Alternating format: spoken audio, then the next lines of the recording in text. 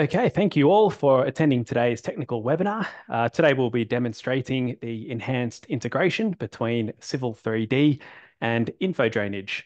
Uh, in the latest version 2025 release of these products, there has been a significant enhancement to this integration, which is aimed at further enhancing or streamlining your drainage design workflows. The new feature features enable the seamless transfer of hydraulic modeling results from InfoDrainage to Civil 3D, which joins the existing integration features already available between these two Autodesk products.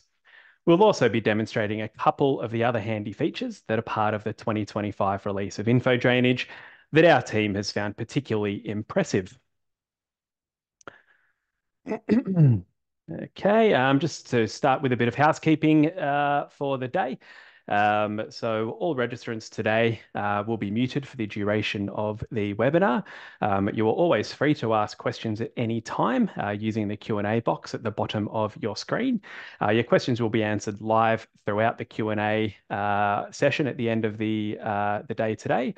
Um, or addressed in real time. Uh, in the days after this presentation, the recording will be made available on our YouTube channel as well.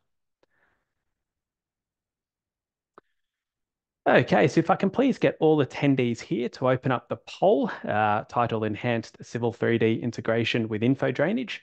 Uh, it can be found under the polls quizzes button at the bottom of your screens. Uh, depending on the screen size, you may have to click on the three dots more button first on the right hand side. Uh, please answer these questions as best you can. Uh, there's only a couple of questions in there. Uh, your responses will help us understand how the software is being used uh, to enable us to better support you, and will also inform us, uh, inform us of future webinar topics that you all might like to um, hear presented. Uh, while you are completing that quiz, that poll, sorry, I'll just give you a quick rundown of info drainage as a product, as I know a lot of you in attendance today might not be overly familiar with it. Uh, so InfoDrainage has been on the market in one form or another uh, for a long time now. Uh, it was acquired by Autodesk as part of the Innovyze portfolio back in 2021. Uh, it provides a complete drainage analysis package that can be used as a standalone product or integrated with Civil 3D for enhanced land development drainage analysis. It provides a graphical interface, 1D, 2D design, and plenty of other features, including SUDS design, included as part of the off-the-shelf package. You'll see it in action today, and following today's presentation, please get in touch if you would like to know more about product pricing and licensing or how to access free learning resources.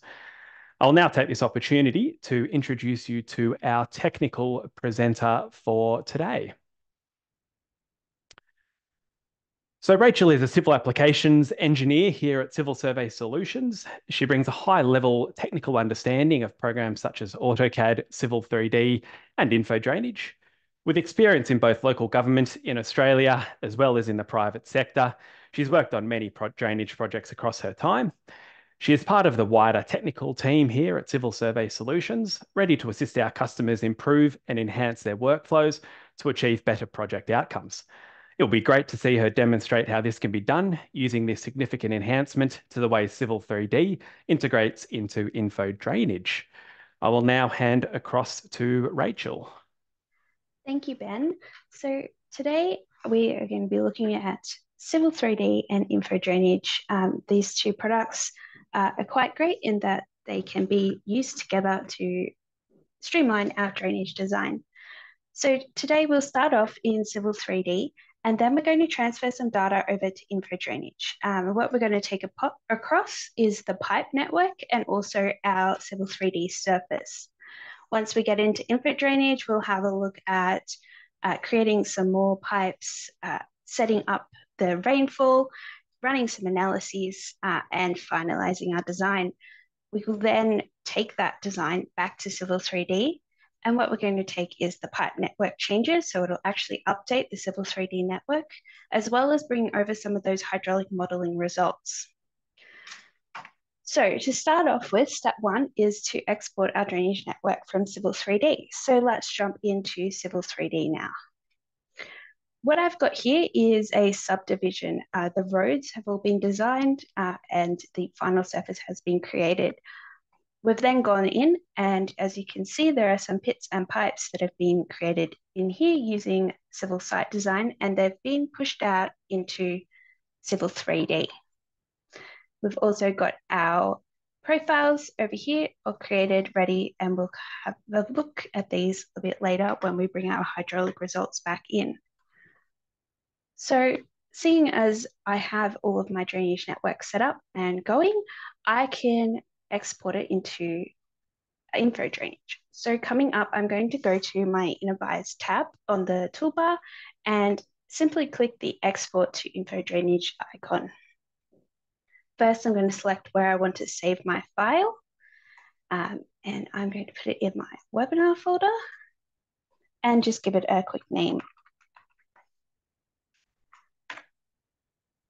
Next, I will select which network I want to select to export. In this case, I've only got one, and I can either choose to not export my surface or I can export the surface that it's referencing, which in this case is called final surface. That means I'm going to take this drainage one network and this final surface across with me when I go to info drainage. The last step is to do the part mapping, which you can see has already been set up for me uh, making sure that when I go from Civil 3D, the 300 mil pipe is still going to work out at 300 mils when I go across.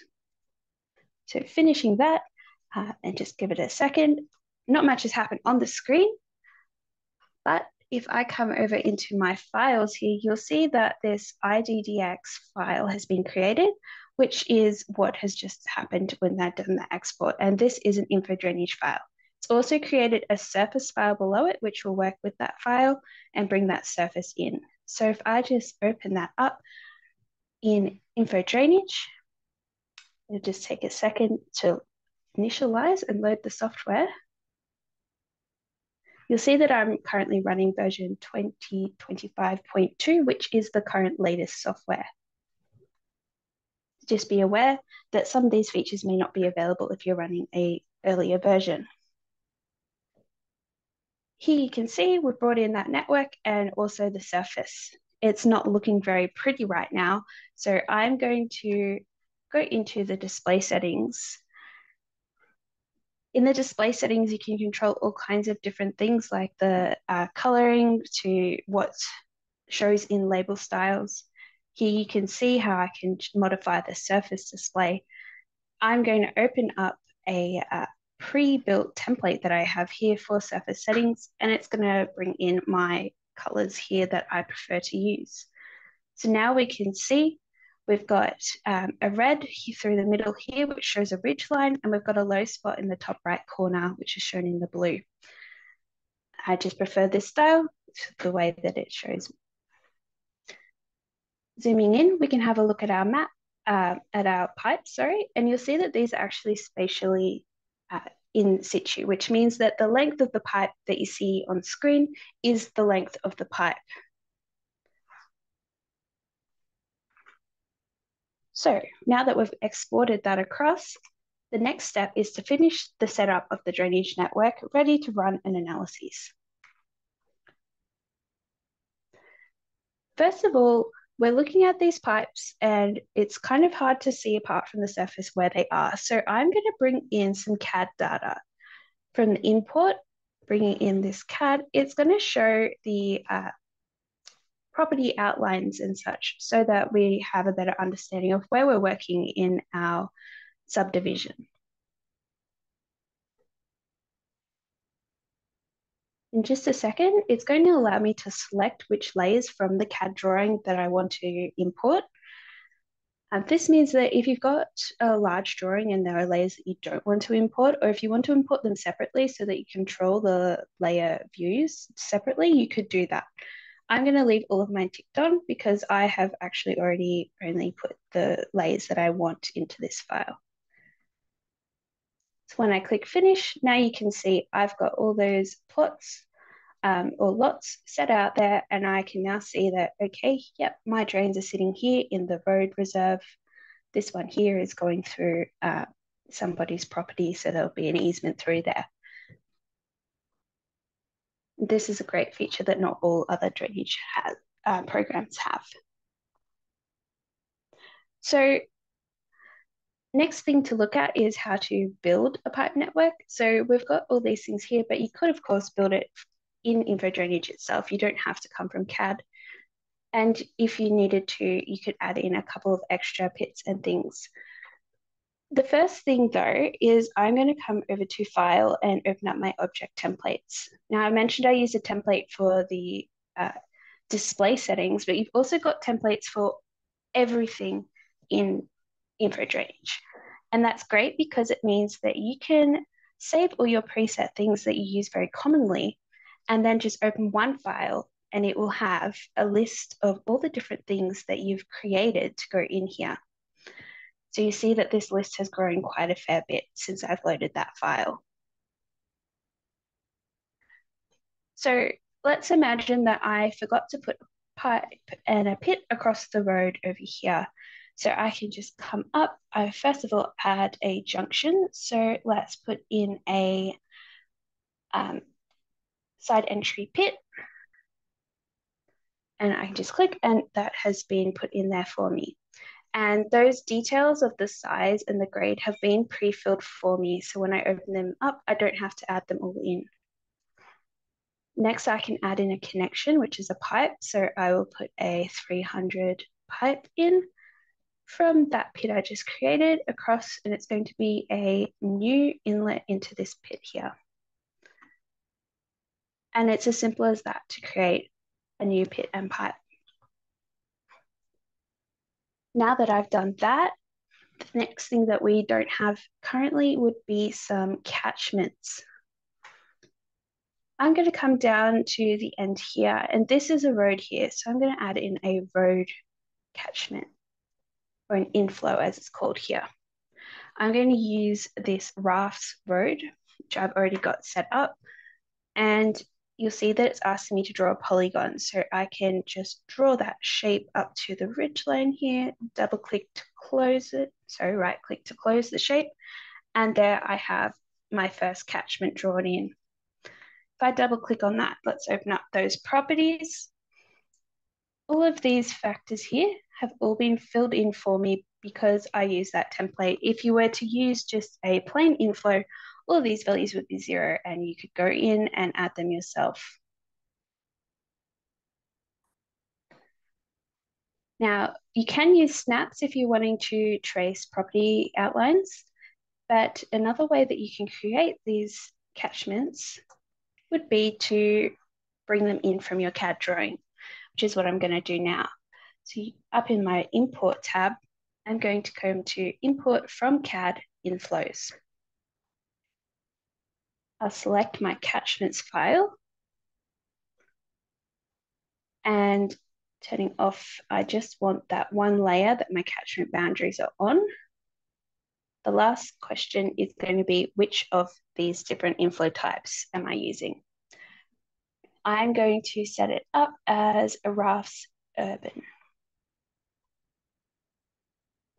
So it's going to create eight inflows for me and you can see them there in the green shapes with the little icons. Last thing to do with this is some of them will be automatically connected. You can see there's a line for this one connecting it to this pit. Others won't, so you'll have to just check that they're connected up. I'll just quickly go through and make sure that they all connect to a pit.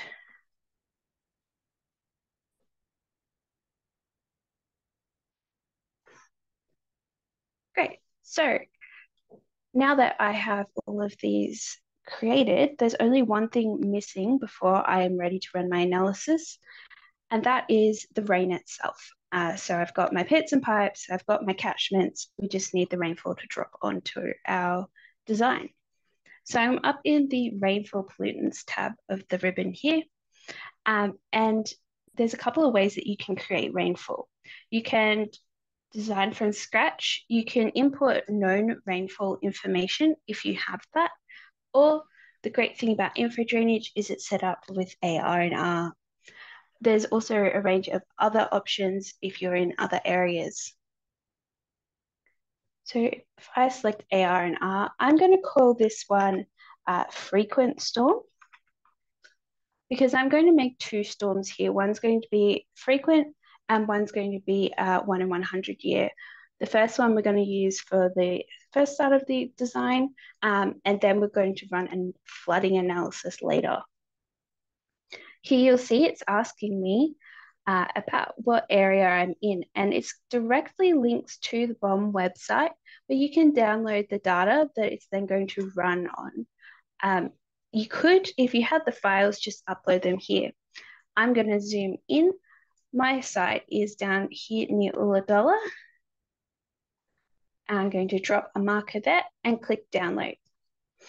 So we're now talking to the um, weather meteorology website and it's going to download those, ask me where I want to save them.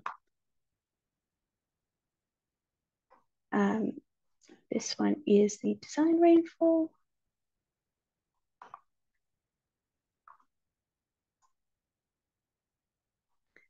And the coefficients. Okay, so now that I've got those files populated, I'll come across to the AEP tab. Now I've currently got one AEP here, which is automatically brings in 63.2%. I'm going to leave that there. If you wanted, you could bring in uh, more rows with more different rainfalls, and you can change that to whichever um, AEP you want to use. You can also come across to the storm durations tab, and here you can select which durations you'd like to run analysis on. You could select them all. Um, I'm only going to select four because uh, time restrictions. Uh, four is good for me because I know that it won't take long to run. Um, so you've got to remember that you're going to multiply the number of AEPs by the number of storm durations by 10 different rainfall templates. So what I've selected now is it's going to run 40 simulations. Uh, that's enough for today's tutorial. Or, uh, the other option is also for areal reduction factors, uh, which are not applicable in my location. Okay, so that rainfall event has been created. If I want to have a look at it, I'll open up my rainfall manager.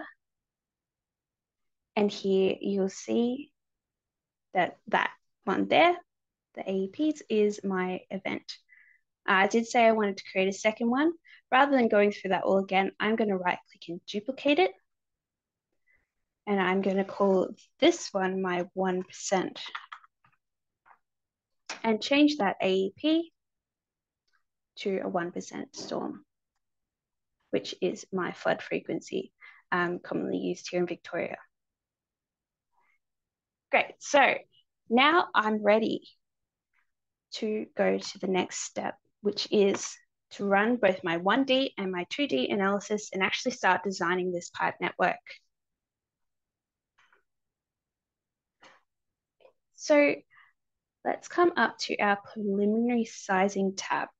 Now, one step that I did forget before I can run this is I need to create a flow path essentially what a flow path does is it tells what direction the water is flowing in. So I'm going to start with my top no, topmost um, pit, and you can click along each pit to tell it which way to go, or you can select the top one and then just click the outlet,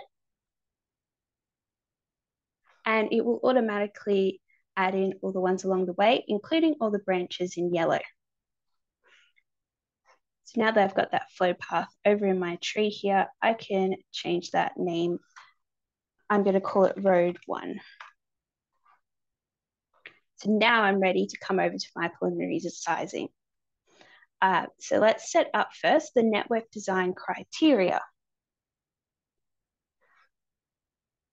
So for the calculation option, I'm going to use the rational method uh, and choose one of my rainfalls, the AR and R1, which is the 30, uh, 23, 63.2% AEP. Now coming over to my design options, you can have a look at all the different settings here. Now the first one is the size, pipe size library. And I'm going to change that from the default so when I click here, you can see that default's only got two sizes there, which isn't very helpful. I've actually got a library here that I'm going to load in. And here we have a much larger size range. Now I know that I, where I'm working, they don't allow 225 pipes. So I'm just going to remove that entry there. And so these are the pipes that the software will choose from when it runs this design criteria. Next, it allows you to lock your slope of the pipes if you've got them at a specific slope that you don't want to change. For design options, you've got uh, minimize excavation or minimize pipe diameter, depending on which one you'd like to pick. I'm going to design based on inverts, reduce that minimum cover to 900 and that minimum slope to 100. Max slope can go up to four. And the bottom here, we've got the uh, manhole sizing or pits. And that's the same as the pipe sizing. You can load in your own library here.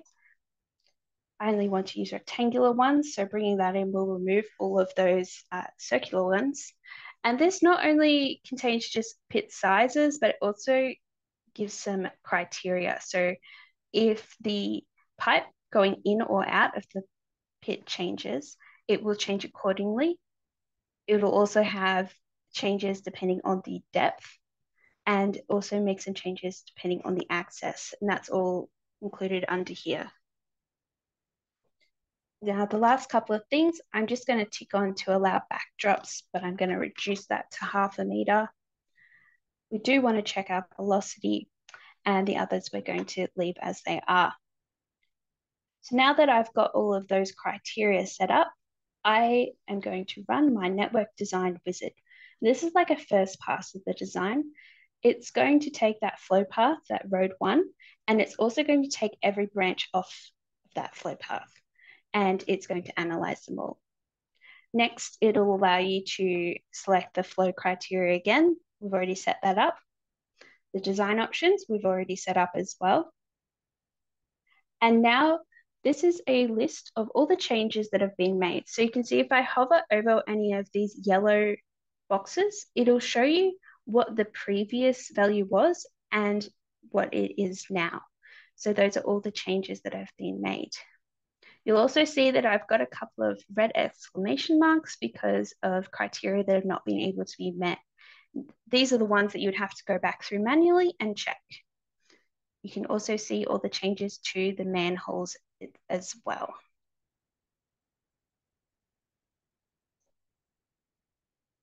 So assuming that we've gone back through now and checked all those changes, you would now run a 1D analysis. Under the analysis tab here, uh, we've got to set up first the analysis criteria. So this one here, we're going to keep the same rainfall uh, and you can see here that it actually tells you is running 40 storms. You could check both of those if you wanted to, and it would run 80 storms, uh, but we're just going to work on the first one first. We want to get the design set up for the frequent storms, and then once that's done, then we'll have a look at the more infrequent storms and the flooding. You do have the option to set reduced, shortest, or default time step, which will have an effect on how well your um, analysis runs, and you can change those uh, output intervals as well if you wanted to. So now that that's set up, we can run our 1D analysis. I have an error here, which is actually quite good to show you that here it's showing up with some errors. Uh, so you can't actually run the analysis yet but you can click right here from this form and see what's going on. So you, I've got two inlets here. One has the uh, catchment attached and the other has nothing attached. So I can just delete that straight from this form without having to go anywhere else. Now I'm just going to fix that up for these three pits.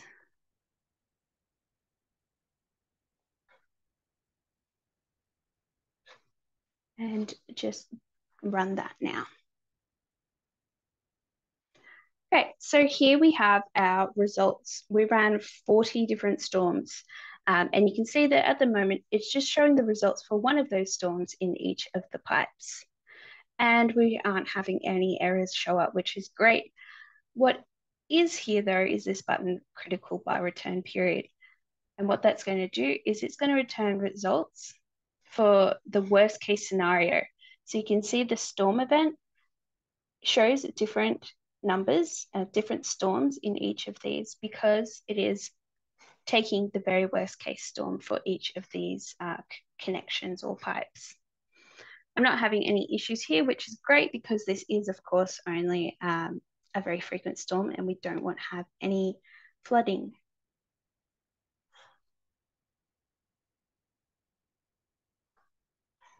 Now, though, let's have a look at some flooding. So we're going to come back and change those analysis criteria to the 1% storm and turn off the frequent storm. And let's run that analysis again.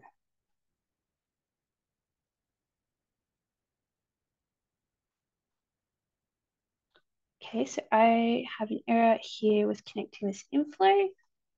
It's all right, I will just quickly fix that up. You can always click the validate to check that the site is okay before you click go.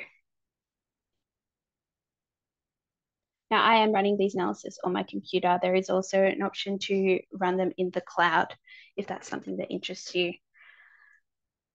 Now, for this one in 100 year storm, you can see that we have some uh, issues with flooding and surcharge. I'm going to go to my critical storm and just extend that so I can see the storm numbers here.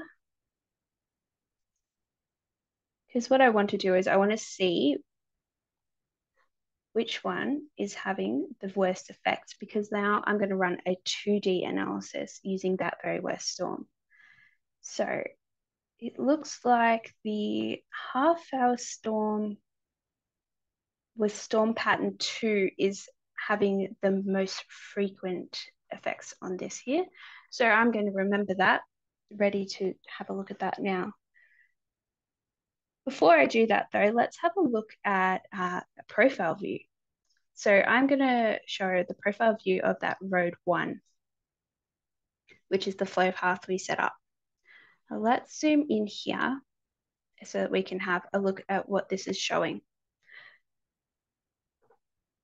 We've got a number of different lines. This purple one here is the minimum cover, which is great if you're designing because you can design in this tool by clicking in any of these cells and changing the numbers. In this blue line here, we've got the HGL shown and also the EGL. You'll see this red line just level with the top of the pipe, and that is in fact the uh, highest water level. If I click this play button here, you can actually see um, step by step how the water will look in the pipes, and you can play it one step at a time if you like. These little indicators here are showing that the water is overtopping or close to overtopping. In this case here, we've reached that uh, 300 free um, threshold value. Um, so we're getting a warning there.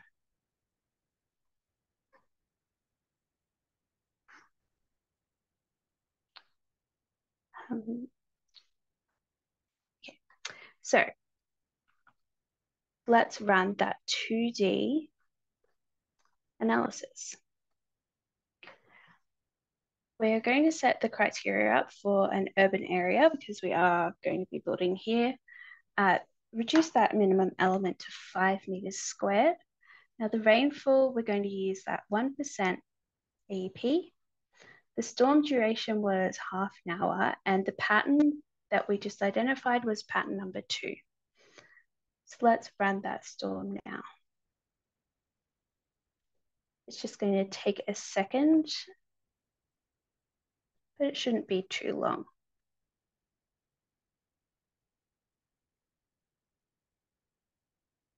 we go. So let's come up with the results again. Um, we'll just close that down. And let's come over and turn on our 2D analysis. Now it's currently showing me the worst case, like the worst time step. And you can see that there is uh, a depth of flooding through here. According to our legend, it's less than 30 mil. You can also see the arrows showing the direction of flow, and that's quite fast, um, half a meter per second.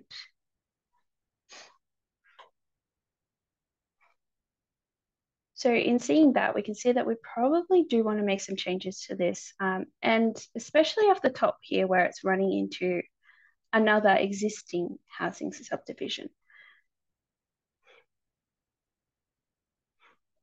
So back to our PowerPoint. The next step would be to create another proposal. We're going to pretend that we have optimized that design and we have not been able to achieve what we wanted. So let's create a second one. And this time we're going to create a detention basin. So to do this, what we're going to start off with is creating a new phase. Under phase management in the tree view over here, you'll see that I have one phase created, which is drainage one. I want to create another phase that we're just going to modify a little bit. So if you create a brand new phase, you'll have to start from start and bring in your surface again. But I can also just duplicate this phase and make some changes. I'm going to rename it to basin, just so I know which one's which. And you'll see from my drop down here that I'm currently working in basin. I could drop that down if I wanted to change back to drainage. I'm going to build my pond up here near the outlet. So let's zoom in and first off, just delete this pipe here. You'll see the gray pipe showing through below, which is from that drainage one. And if I don't want to see them, I can turn off that light there. I'm also going to change this go to a stop, which means that when I click analyze, it's not going to analyze drainage one, it will only analyze basin. So now that we're set up, let's create a pond. So in built, we're going to come and have a look at stormwater controls. Now under here is where you'll see a lot of your um, different SUDS devices, um, things like swales and rain gardens. In this case, I have set up a template for a three meter deep pond. I'm going to use that because it will pre-fill a lot of those information. So it's asking me to click to start a polygon. So let's draw a rough shape in the shape of my block of land. Um, and there we go, we have a pond.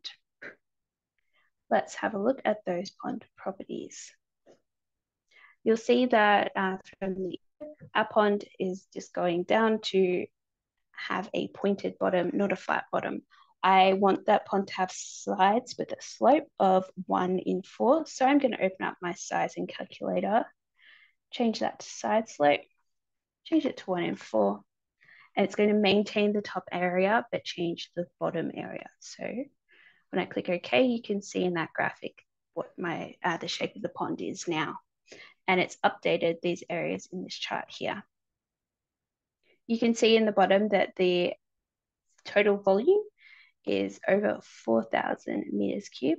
Uh, and we'll have a look if that's enough later. When I click out of that, you'll see that this dotted line has been added in. and that represents the, uh, the edge of the flat bottom there. This diagonal line through here is the, um, it's called the center line, which is like the flow path. Now that's not where my water is going to be flowing. So I am going to re-specify that because we've got our inlet down here and our outlet up here. So that more accurately represents the flow direction. What I haven't done yet is actually connect this pit into um, our pond. So let's add in a connection. I'm going to use what's called a no delay, which essentially it acts as though the water is going directly from your outlet into the pond, um, which is more accurate in the modeling. So going from that to our pond, and then another one from the pond, from the pond to the inlet there. Now you can see that saying that there's an orifice here. So let's have a look and double check that. So I'm just looking at the pit here and the outlet is, yes, it's been put in as an orifice. So what I'm going to do is I'm just going to change that orifice. Let me just check the dimensions here. It's 900 wide, so I'm going to put it in as 800, which should be plenty here. Essentially is almost free flow. Now having a look at my pond settings again, let's just check this. We've got a depth of three meters and a freeboard of 300 mil. So this is all looking good on this side. Let's have a look at that inlet. It's going to be a point inlet with no delay, which is what we want. Now the outlet, we've got set up as an orifice. This time we're going to want to actually calculate our orifice diameter. Now our design depth was three meters. We're going to assume that we've calculated that the allowable rate of discharge is 20 liters per second, and we've got a coefficient of 0.6. So let's calculate that, and it's put it in for us 0.074. Uh, obviously, you would change that to match a standard pipe size last thing to do is under advanced, I just need to set this Manning's as 0.03, assuming that this is going to be a grassed bottom on this pond.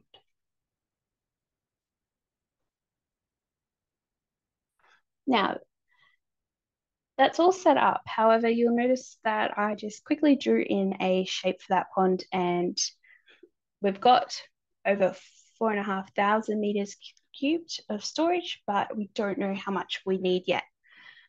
I'm going to just run a quick sizing calculation to see if we're anywhere near the ballpark. So using my quick storage estimate, we're going to design to the exceedance. Let's calculate. I'm going to use the planned data, which means that it is going to run a quick drainage calculation using the areas of my different um, catchments here. The allowable outwards discharge is 20 litres per second, um, and we're assuming that it's impermeable, though you could change that if you wanted to. When I run that calculation, you can see that I probably only need about 2,000 meters cubed.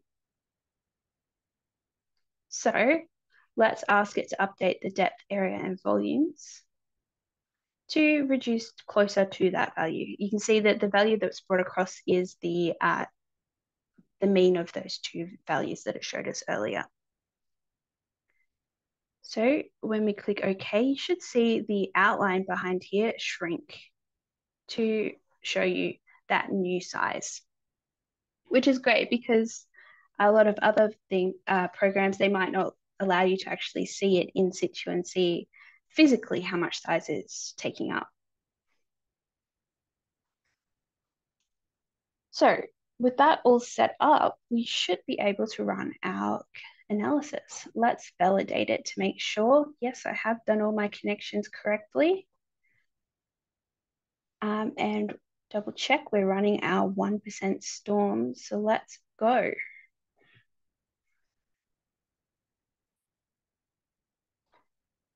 Now you'll see here that it's actually showing me the stormwater controls, whereas previously it was showing me the connections or the pipes. Um, so let's have a look at our critical return period. Percentage available, negative 22 flood. That is not good. We need a bigger pond. So now what you would do is you would come back, go to your sizing calculator. We need about 20% more. So, um, so 2,500 and go okay. It's going to recalculate those areas. And you could run again and again. Um, that's the kind of uh, process that you would go through to, in order to get that um, pond size at a better uh, amount.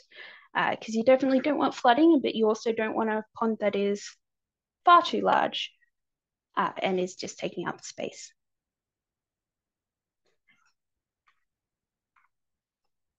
Great, so now that we've had a look at that pond there and we've limited that outflow, the other thing that is very good with the software is the ability to include water sensitive urban design. So let's now make a copy of our pond uh, phase and then we can add in some of these features, show you how they work. So coming over to my phase management, I'm going to duplicate the basin and rename it as WSUD. Let's turn off the basin. So we're just working here. So first of all, let's add in a swale. I'm going to add it down on this road here. I'm going to come over to the build tab and in my stormwater controls, I'm going to do this one in four swale. So that's one in four is the side slope. For a swale, what you do is you can specify the width and then run the length. I have not done a very good job of running that perpendicular and parallel to my road, but that's okay because you can actually come back later and manually change some of these points and edit the shape and size to be more accurate to what you're uh, going to construct on site. Once again, we're going to add in those connections from the outlet there down to here. Another one is going to go to a new inlet. So I can come to this outlet here for my swale. Um, it's not going to be an orifice, it's going to be a weir going into there. And I'm going to set the width as one meter. Coming back into uh, the dimensions. So we are in the grass swales um, properties here. We've got um, the top width it's taken from the surface, added depth, which is included in that template. And it's also used our one in four side slope there. Now longitudinal slope is going to be about one in 35. I know that because I've done this before. Um, that's what the slope of this road is. So our outlet is where we've got an inlet. We can set side um, and base infiltration rates. Um, you can also set the porosity of the soil. Uh, so that is ready to go. Great. Now, one thing that I did not do uh, was actually set up the pollutants. So if you come up to the pollutant tab here, you can click here um, and you'll see that there's nothing here at the moment. We can add rows for each of our pollutants that we want to run calculations for. I'm just going to run uh, total suspended solids at this time and click OK. Coming back to our swale, you'll be able to see the pollution tab. We have a, a new table that's been added, which shows uh, removal methods, and you can set that up to go. You can either use a percentage or a first order decay. In this case, uh, I know that swales remove about 50% of the total suspended solids that enter them. So I can set that up now to calculate. Of course, it's not actually going to calculate anything because I haven't put any pollutants into the system. If I come to this catchment here, under the pollution tab, here I can enter how much is going to be entering off of a urban catchment. It's about 0.178 milligrams per litre the other thing that we didn't look at when we first created these uh, catchments is the rainwater tank tap.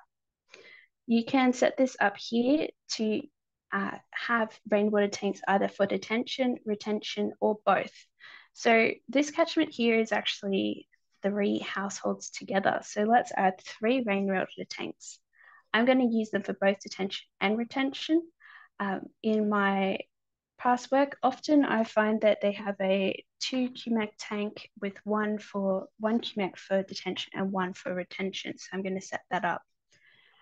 Based on a three person household, I'm going to put a half demand of 60 liters per second and limit this outlet flow to this outflow to five.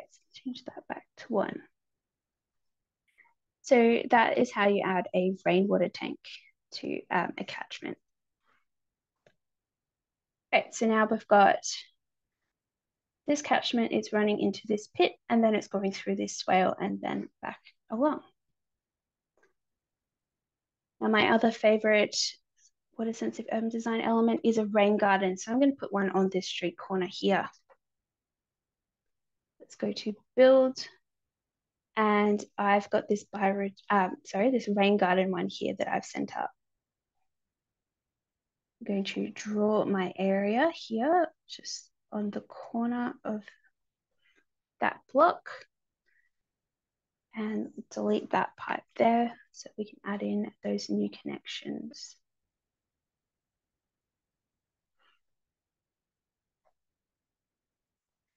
Having a look at those settings.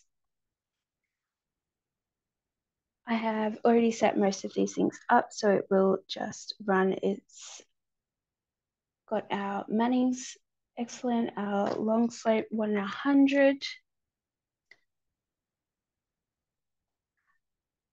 Here you can set up your filter media. So I've got one set up here of a sand with a 250 mil, uh, meter per hour conductivity rate. Coming across to pollution, you can also set up that again, which is around 50% for a rain garden. It does these calculations based on storage time um, as well. So they are based on real world data just double check these inlets and outlets here. You can set up the under drain as well. And you can also, again, set up your infiltration rates or not, whether or not you have it as a lined or unlined rain garden. So let's just analyze now. Going to have a couple of problems. So where I connected and unconnected is uh, what's happening here. I just forgot to delete those, but you can see how easy and quick this is just to make those little checks. Uh, I forgot to size that orifice that is going into the rain garden. It really should be more of a weir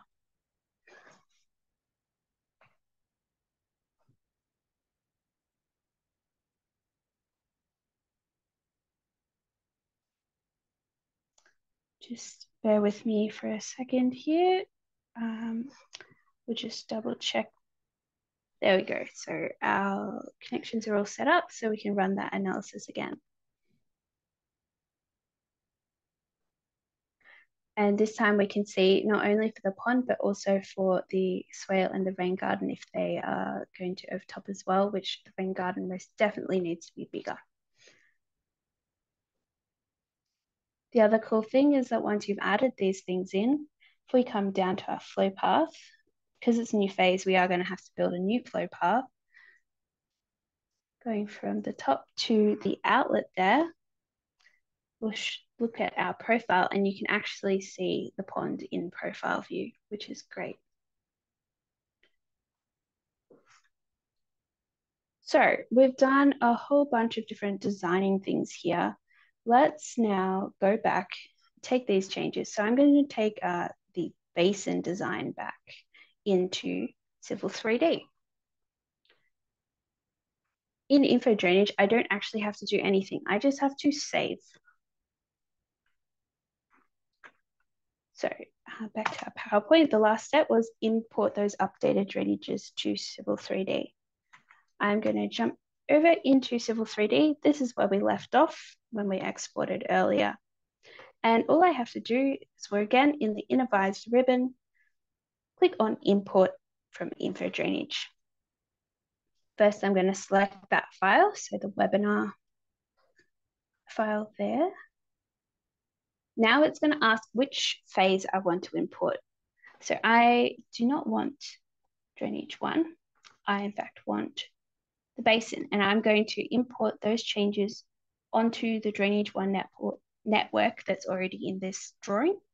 And I do not want to load the surface. I'm going to use the existing 3D surface. I don't want to create a new network for this one. I want to not import it. Here I need to map across from um, Civil 3D or InfoDrainage back to Civil 3D. And I'll just double check that they're all correct. Okay. Put those ones in.